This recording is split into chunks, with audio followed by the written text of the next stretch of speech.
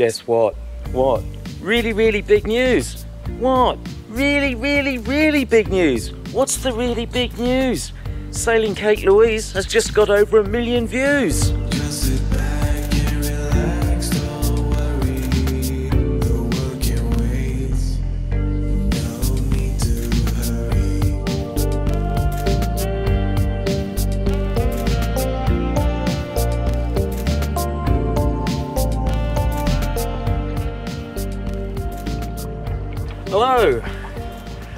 Down to Bobbin Head for a quick sail. Uh, it's Sunday. I'm just going to do an overnight Sunday, Monday.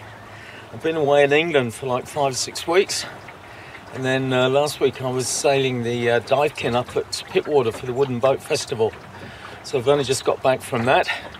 If you're interested, I'll post a link to the video below. Was a bit wet on the Sunday, but we had a fantastic sail back into Sydney Harbour, getting in at sunset, coming through the heads, which was really beautiful. Anyway, haven't sailed Kate Louise for a while, so I've uh, been desperate to go for a bit of a sail. So I've come down here. It is a bit busy because it's Sunday. Um, it's meant to be about 11 knots today. Down here, there's probably only five or six, but uh, we'll see how we go. It's just good to be back on the water.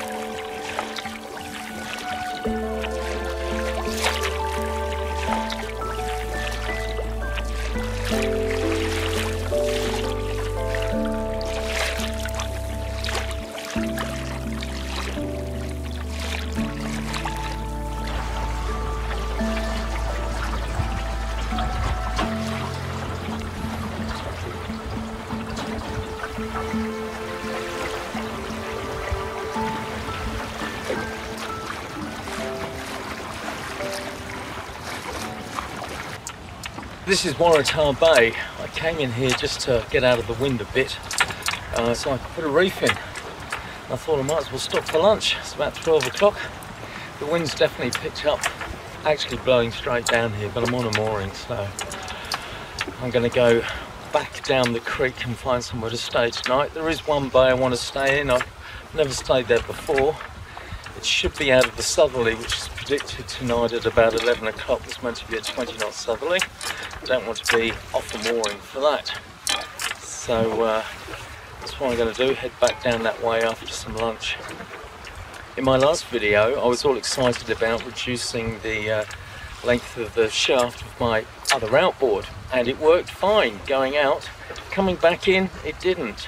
Uh, and I've been fiddling around with it before I went overseas, and I had another go yesterday. And it's uh, it's not the batteries, it's not the controller, it's not the chip, it's uh, not the cable to the controller. So it's either the outboard or the cable going to the outboard, which uh, is a bit beyond me because I can't uh, get right to the bottom of it um, to take it apart. I don't have the right tools. Uh, German outboards. Uh, so I'll probably have to take it somewhere and see if they can fix it. Uh, because it does make a hell of a difference not having your outboard in. At the moment, I've put the old one back in, uh, and because I didn't have uh, the right size holes for the mount for it, I've had to lash it in place, which is fine, but I've got to fix that when I go back if I'm going to keep using this old one. Um, but hopefully, I'll get the new one working because it does make a lot of difference. So we're off sailing again after a nice little lunch stop over there at Waratah Bay. There's the uh, wreck of the old ship, the Waratah's still there, or paddle steamer I think it was. Anyway, I've put two roofs in, which is probably one too many, but it's easy enough to drop.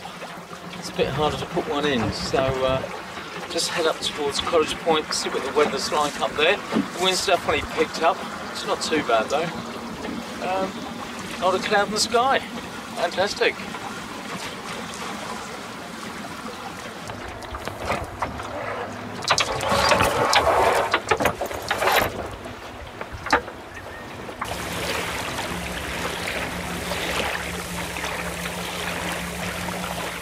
Somebody who watches the channel just came over to say hello. He his boat's a bit big for dinghy cruising. I tend to agree, and not very trailable. Anyway, it's good to see someone on the water.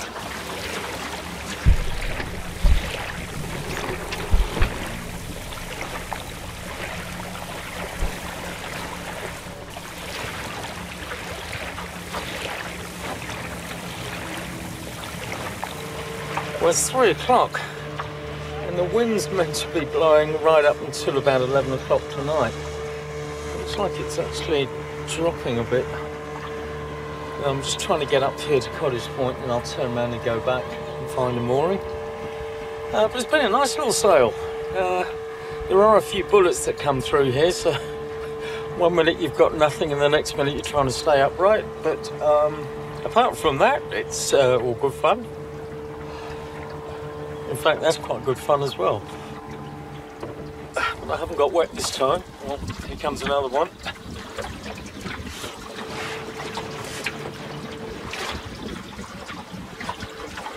But I'm, I'm just in the Bermuda Triangle of where I've nearly gone over twice, which is just around here. Uh, to get wind coming from all three directions, um, which is a bit weird, but that's what happens.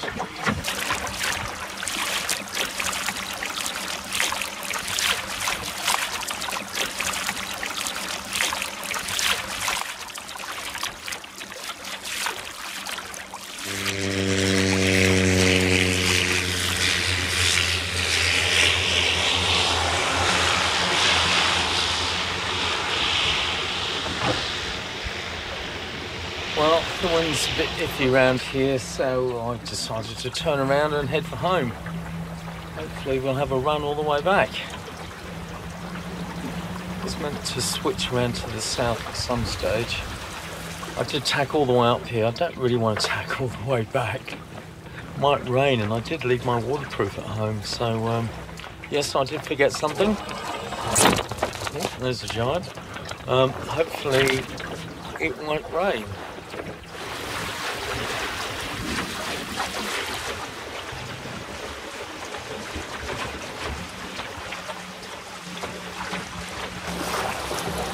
Here comes a plane into land.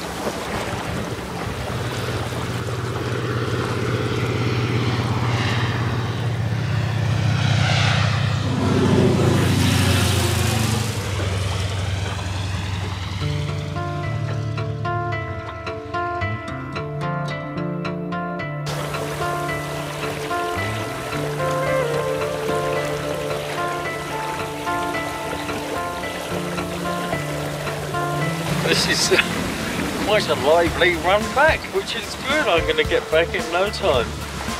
Uh, yeah, I don't know, probably five knots running. Very good. Everyone seems to be going home. Jet skis are so noisy. They really are noisy. Or am I just getting old?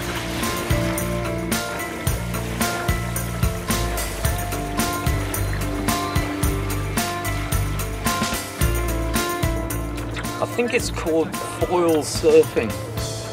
You've got to have pretty good balance.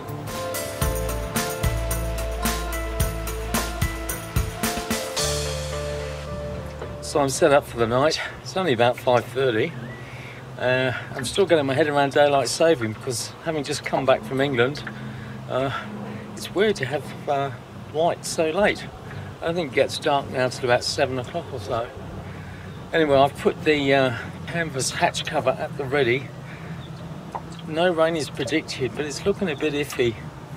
And if there's going to be uh, 20 knot winds tonight, I'm not going to bother putting the tarp up because it will just flap all night long.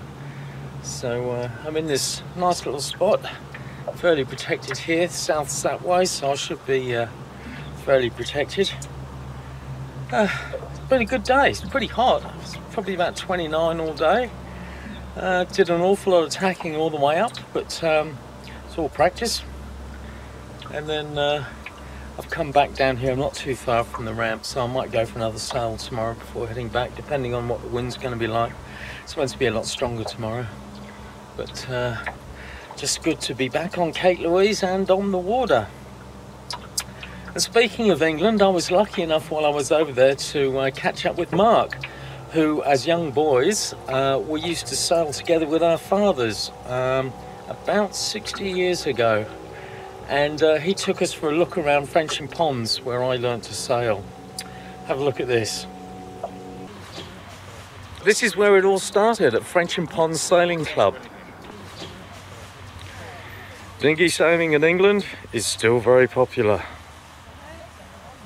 We think these are single handed disabled sailing boats, but we're not quite sure what they're called. Quite narrow. This is where our boat uh, lived. That's the old starter's hut. And the starting line was across here to one of those buoys, one of the red buoys, I think. Mark, I was just reminiscing about what it was like sailing here when we were kids. Do you Yeah. remember all that? I do very clearly, yeah. It was usually cold and very wet. Yeah. And sometimes icy. And Yeah. we didn't have wetsuits, we didn't have anything, we didn't even have jamming cleats. We used to have to hold on to the jib sheet. That's right. But we had fun though, didn't we? We did have fun, yeah. Every Sunday. great. Every Sunday. Didn't matter what the weather Yeah. was. if there was any other family event on, we were Yeah. going sailing on Sunday. Winter and summer and no Winter, wetsuits. And you've got to remember this is England and it does get quite cold here. Well, sometimes the ice was so thick you could walk right across this pond. we didn't go sailing then because we couldn't break it. But Tell me about the monks digging this lake because that's well, fascinating. Apparently, I believe the history is that there's Waverley Abbey, which is quite close by, and Farnham Castle. And the bishops of Winchester used to come between Winchester, which is about 25 miles to the south, up to Westminster, which is in London, which is about 35 miles to the north. And they would stop in Farnham, either at the Abbey or the castle, and they needed a supply of fresh fish uh, because the their religion dictated they had to eat fish on Friday. So they dammed up the uh, the river at the outflow end and flooded this area. But I think they had to line, dig some of it out by hand and line it with clay to stop the water leaching out. Uh, but during the war, they drained it because it was the moon reflecting off the, uh, the surface of the water. Uh, was a good uh, guide point for them to line up on Aldershot and Farnborough. Farnborough was a, was a, uh, quite an important airfield, and Aldershot was the home of the British Army.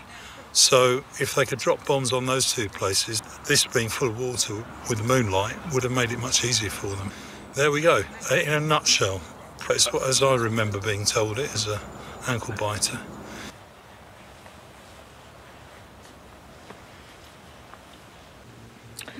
Yes, we spent many wet weekends together sailing all over the place and in championships at the weekends and holidays, etc. etc. Um, but it was all good fun and it hasn't really changed very much at all. And Mark's a bit of a whiz. He uh, makes custom made drums as well as playing jazz drums. Absolutely amazing, the timber work, incredible. This last one was made for Steve Gadd, the US drummer with Paul Simon, Eric Clapton, James Taylor, and Steely Dan. There's a few spots of rain. It's so peaceful here once all the boats have gone home. But I'm about to destroy that because did I tell you I was learning the concertina? I apologise in advance. I can't promise this will be any good, but I'll give it a go. This one's called uh, Mary in the Woods. I am learning. I am learning. Don't expect anything perfect, it won't be.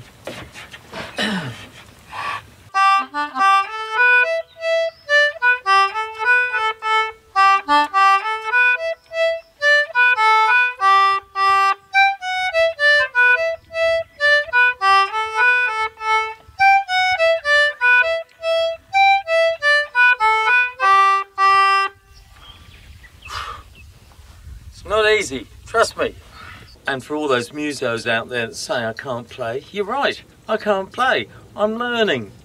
This is an Anglo concertina with 30 buttons, and it's a diatonic, which means it plays a different note on each button, whether you push or you pull. So you've got to get your head around pushing and pulling, and fingers on the left hand side or the right hand side. it's not as straightforward as it seems, as you can probably tell. I've got to read the music because I can't memorise these yet, but I'm trying. Um, this one's a hornpipe. Yeah, I know. God. It's a, uh, a traditional 1790 Ricketts hornpipe.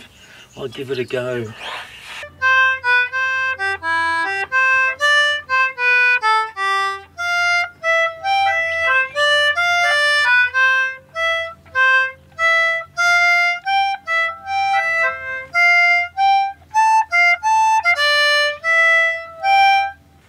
Think it's much better to listen to the birds, don't you?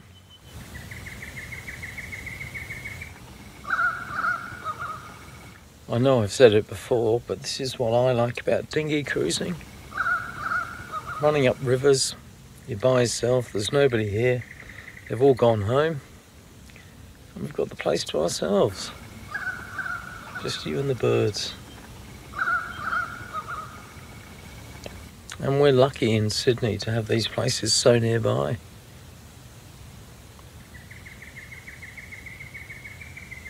It's all national park. The moorings are free. Hmm, not bad. So I think it's time for dinner. I'm going to have, and yes, I've had it before, pasta sensations with aged cheddar and parmesan with chives. And I'm going to add some spinach, tomatoes, and some peas. And as Len knows, peas maketh the man. When you come to places like this, really is magical. Dinghy cruising with a group of people around a campfire is always fun and we have a lot of laughs. But it's also nice to go away by yourself sometimes and just enjoy the tranquility.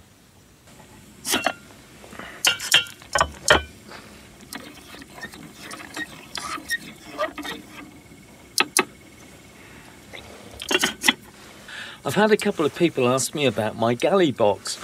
Well, I have done a video in the past and I'll put the link below. Uh, but basically, I got the idea and some of the measurements from Arwen's Meanderings with Steve and Roger Barnes. They both have galley boxes. You've got to adjust them to make them fit where you want them. Mine had to fit under the thwart, so it had to be a particular size. Uh, but it's lined with uh, fireproof aluminium, which is good. And I use, unlike a Trangia, which is slightly bigger, I use a gas bottle uh, a vertical gas bottle as opposed to a canister.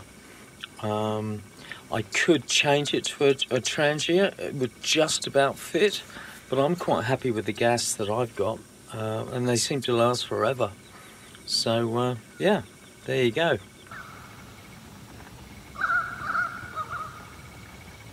Not too bad. Could probably have added some cream, but um, yeah.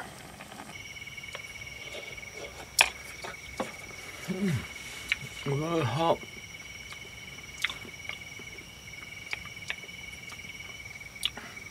Hmm. But you're right, Len. Peas absolutely make it. Mm. It's very good. People say, why do you always say it's very good?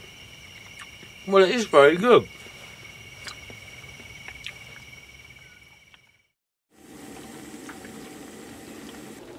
I just put the coffee on, it's starting to drizzle.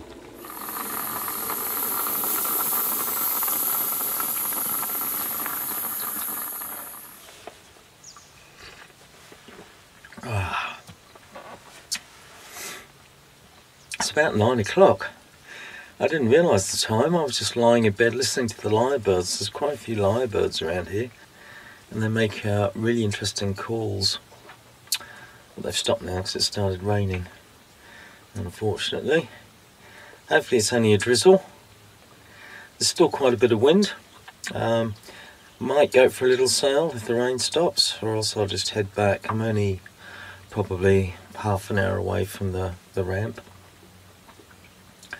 last night was pretty good. So quiet, absolutely quiet around here.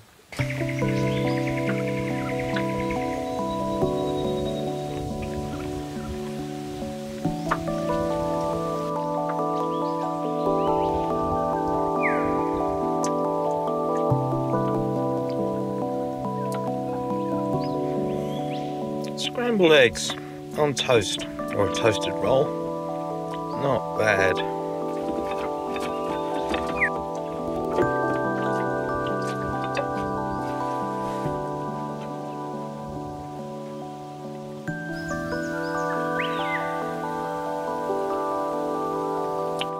Who needs a fancy restaurant when you've got this?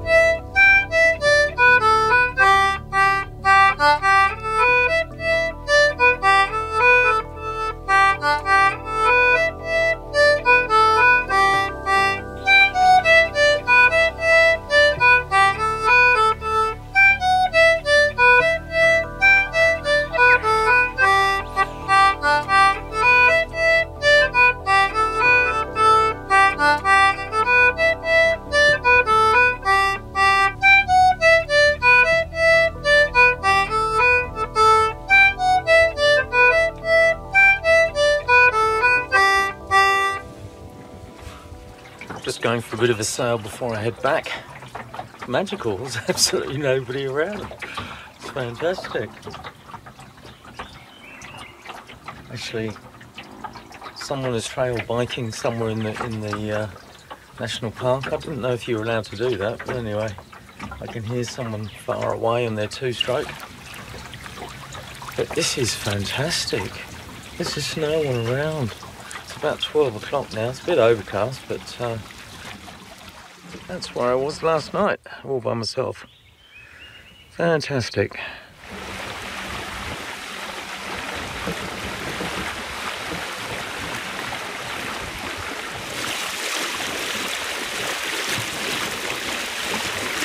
This is great.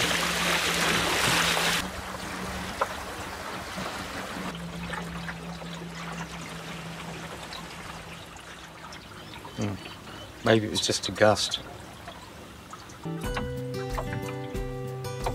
It's proving to be a little bit of a tricky sail through here. The wind's very changeable, and uh, the rocks are covered in oysters. Just went round the last market, which is great as the wind keeps dropping. Um, I think we're okay. Just coming up to the boat ramp now.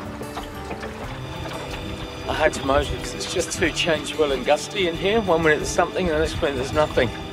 And it can swing 90 degrees easily. A bit different from yesterday. I think there's one person on the ramp. Normally this can get quite busy in summer. So I had a good sail yesterday, nice sunny weather, and today wasn't too bad. A bit fickle, but not too bad. Anyway, thank you for watching Sailing Kate Louise, and I promise you I won't bore you with my concertina playing every time. I do realise people have sensitive ears. And as always, I'll see you on the water somewhere next time.